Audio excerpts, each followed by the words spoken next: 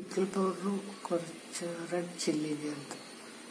Pickle പൗഡറിനകത്ത് ഉലുവയും കായൊക്കെ ഉള്ളത് അതുകൊണ്ടാണ് പിക്കിൾ പൊടി ചേർത്ത് തേങ്ങ അരച്ചെടുക്കുന്നു പുളി ഉപ്പിട്ട് വെള്ളം ഒഴിച്ച് തണുപ്പിച്ച് കുടമ്പുളി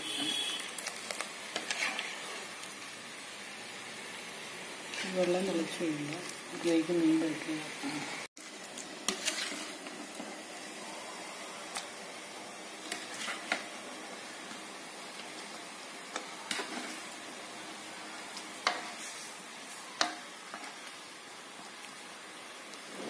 വെള്ളത്തിലേക്ക് മീൻ പെറുക്കിയിട്ടു.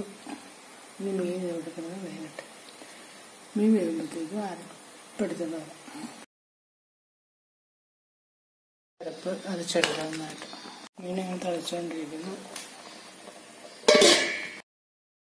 ഇനി മുളകൊക്കെ അരച്ച് വെച്ചു. ഇനി മീനിലേക്ക് ചേർക്കാം.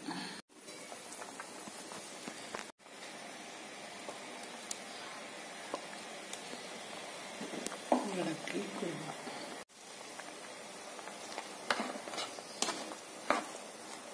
അരപ്പ് ചേർത്ത് ഇളക്കി ഇത് തിളക്കാൻ വെക്കും അരപ്പിനകത്ത് കിടന്ന് വേകട്ടെ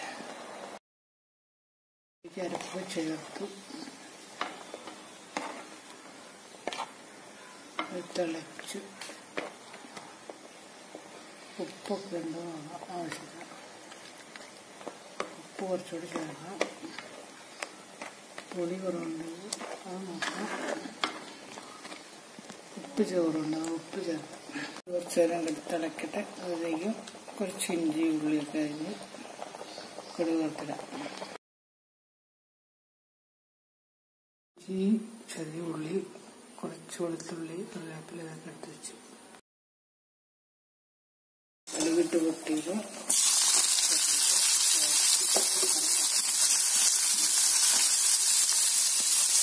Thank